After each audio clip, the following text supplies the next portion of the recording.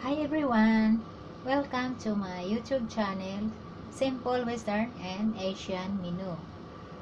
Today, ang aking menu ay uh, baked salmon with enoki mushroom. So, ito naka-sit aside na. Kailangan natin ng enoki mushroom.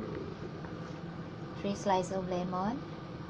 Salmon, fish, a slice onion, at butter.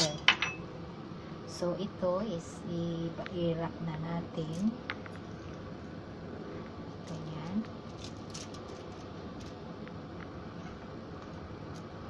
Tapos, ilagay ko yung lemon. Mga onion dyan.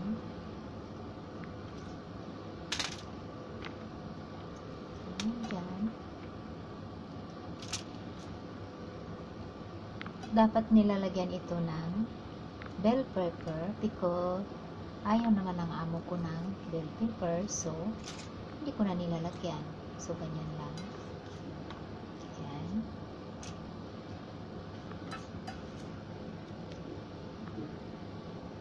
okay.